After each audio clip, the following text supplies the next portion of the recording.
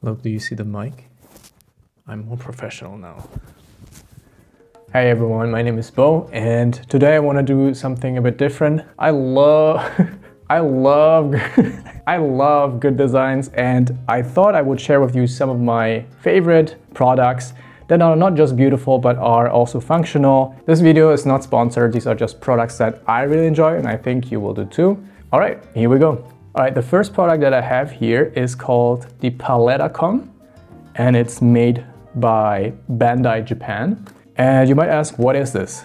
So this is a collection of office stationaries and if you look inside, you first see a palette of different shapes and colors, which looks very nice. And each of these shapes represent a tool. So for example, we have this shape over here, which is a pair of scissors.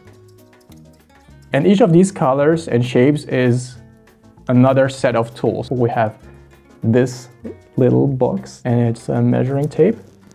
Then we have magnifying glass, a little um, hidden compartment with some staples in it, tiny stapler, a ruler, a box cutter, then this, a set of tweezers, I think. We have a hole puncher. There you go. And the last item is this tape dispenser. There's the tape. And yeah, that's basically it. I wouldn't consider these as real office tools because they're all made of plastic, but I think in terms of the aesthetic, it's very nice and something to have. Pretty neat. I like it. Palettacom from Bandai Japan.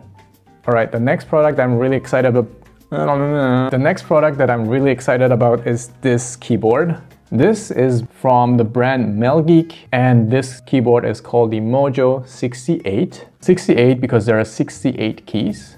I counted them. I have been into mechanical keyboards since since two years now and the thing about mechanical keyboards is you have to buy every single part separately and then have you have to assemble them yourself. So the advantage with the Mojo 68 is once you buy this keyboard, it's fully built, you don't have to assemble anything. Another advantage this keyboard has in terms of other mechanical keyboards is that you can use this via Bluetooth or a dongle. Usually mechanical keyboards rely on uh, a cable. So you don't have to worry about this one here, which is very neat. It makes your desk setup very nice and clean. I mean, look at the design of this keyboard. It has like these accent stickers uh, on the case, as well as on the keycaps.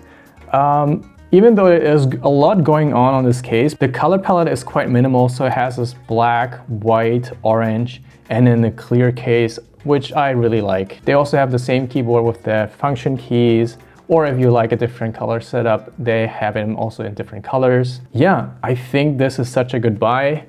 So if you're interested into mechanical keyboards, I highly recommend this one. The typing experience of this keyboard is also very nice. So this specific keyboard has linear switches, which makes the typing experience buttery smooth. You can have a listen right here.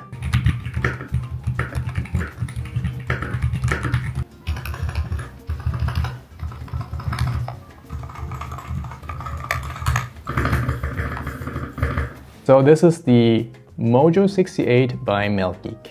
So for my final favorite product, I have this cube for you. It's the Anchor Mag Cube, I think. So I featured this product already in a previous video, but this is such a neat gadget that I'm using on a daily basis, and I think a lot will find use for this as well.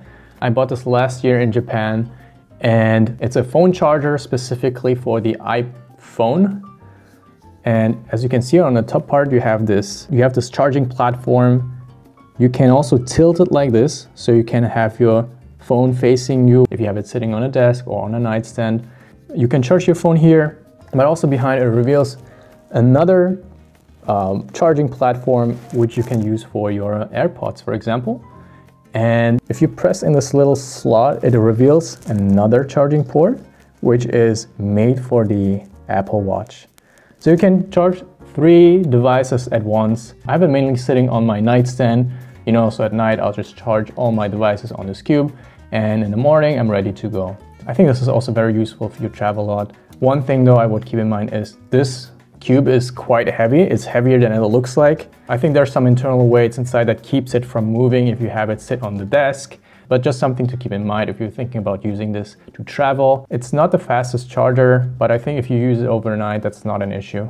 All right, these were three of my favorite products that I have for you today, but I have one more thing that I want to show you. Uh, this was sent to me by the company PunCube. They saw my recent studio tour video where I used the Moft Smart Desk Mat. They wanted to show me their kind of laptop desk mat. And this one is much more portable they have different colors as well. I'm really into earthy colors, so I chose this tan color. You can basically use this to put your laptop on a better angle to work with. But the one interesting aspect of this portable laptop desk is that you have um, side compartment that you can that you can open like this and it acts like a portable mouse pad as well. So you have your laptop stand and your mouse pad. If you don't need the mouse pad anymore, you just tuck it away like this can also use this side as a notepad, put some paper over here and just climb it down. And there's some magnets in here that hold the paper in place. And overall, I think this is a very neat device. For me, as a digital artist, I'm using an iPad to paint professionally. So I'm always looking for portable iPad stands that are nicely designed, portable and light. So I tried using my iPad on this device, but I think because it's mainly made for laptops, it doesn't work as well for drawing purposes, so if you are planning to use it on your iPad as well, uh, I think this is not the right device, but if you're looking for a laptop solution where you can also use a mouse pad on the side, I think this is a very smart uh, solution. If you're interested in this portable laptop desk, I will leave a link down below so you can go and buy it. But yeah, anyways, these are three good design products that I have for you today. I have way more products that I would love to show you. So if you like the idea, please leave a comment down below so I know that you're interested. All right, if you know other good design products that you think I should take a look at, leave a comment and I might feature that in the next episode. If you have your own product that you want me to review and give my honest opinion on, please feel free to contact me via email. All right, that's about it. Thank you so much for watching. Uh, I hope you liked it and we might see each other in the next episode. Take care.